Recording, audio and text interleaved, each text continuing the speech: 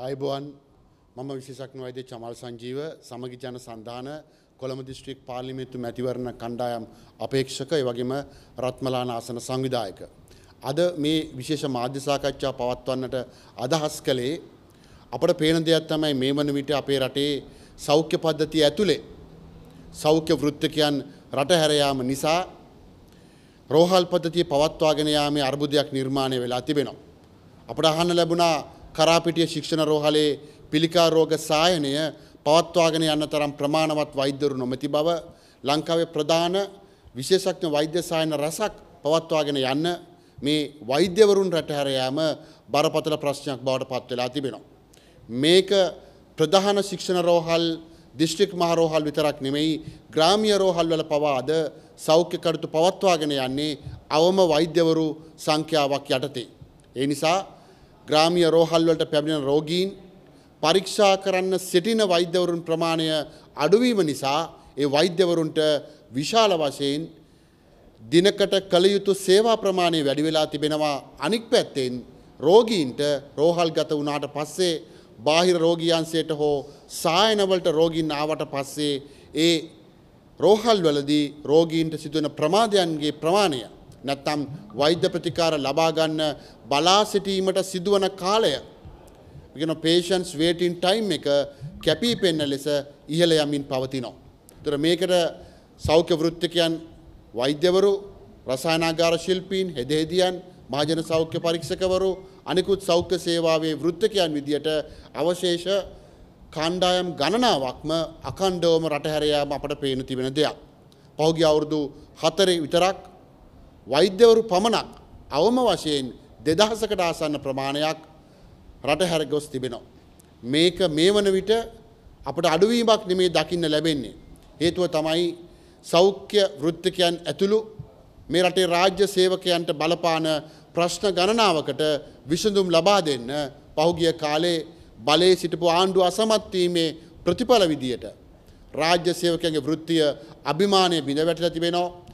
ජීවත්වීමට සරිලන වැටුපක් ලබා ගන්න අද වෛද්‍යවරු ඇතුළු සෞඛ්‍ය වෘත්තිකයන්ට අහිමි වෙලා තිබෙනවා.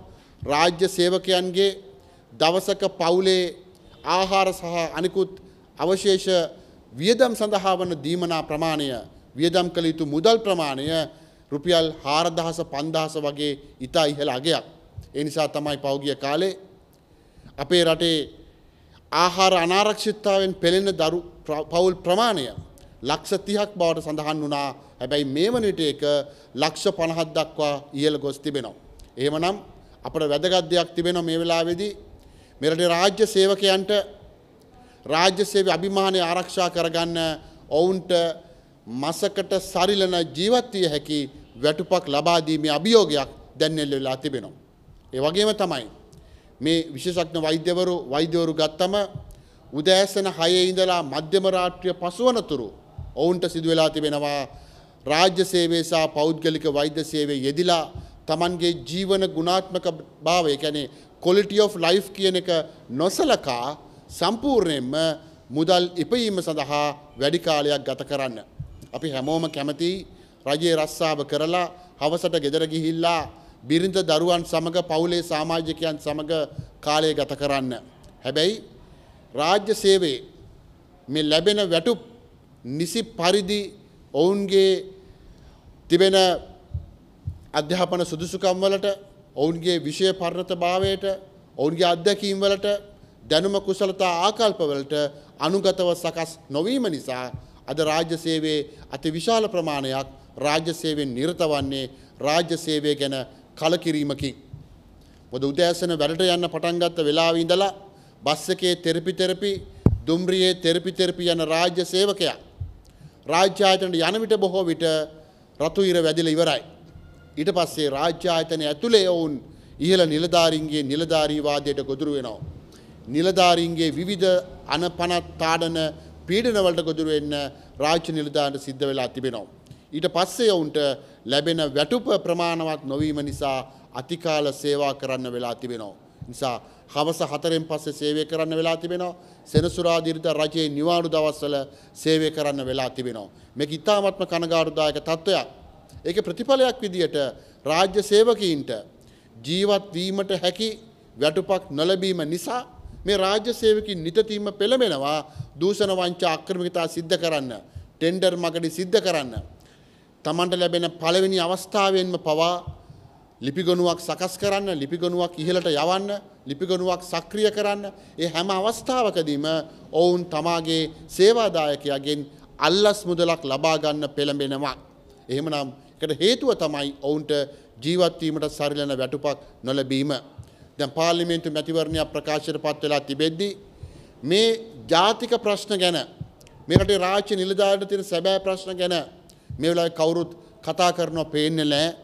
රැල්ලකට යන පාර්ලිමේන්තු මැතිවරණයක් වෙනුවට මේ රටේ රාජ්‍ය නිලධාරීන්ට විශාල වගකීමක් තිබෙනවා.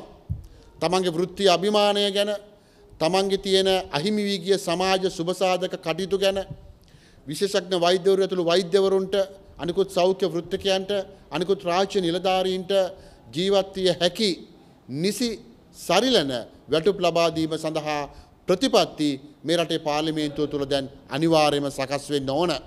ඒ නිසා තමයි අපි ඉතා පැහැදිලිව සමගි ජන සන්ධානයේ කොළඹ දිස්ත්‍රික්කයේ නියෝජනය කරන මැතිවරණ අපේක්ෂකෙක් විදියට අපි මැතිවරණය තුළදී පවා ඉතා පැහැදිලිව මේ රටේ රාජ්‍ය නිලධාරීන්ගේ ඒ බරපතල ගැටලුවට මුහුණ පා තිබෙන රාජ්‍ය සේවයේ අභියෝග හඳුනාගෙන ඒවට ප්‍රායෝගික විසඳුම් ලබා දීම සම්බන්ධයෙන් මේ විදිහට හඬක් නගන්නේ.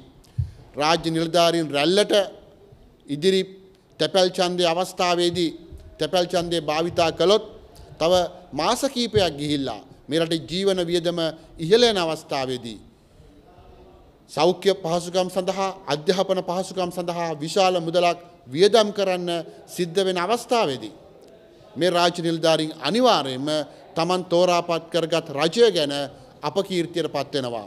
Taman තෝරාපත් කරගත්ත රාජ්‍ය තන්ත්‍රය ගැන අපහසුතාවට පත් වෙනවා. ඒ නිසා අපි ඉල්ලනවා රාජ්‍ය නිලධාරීන්ගෙන් මේ තැපැල් ඡන්දය භාවිතා කිරීමේදී ඊ타මත්ම නුවණැතිව තැපැල් ඡන්දය භාවිතා කළ යුතුයි.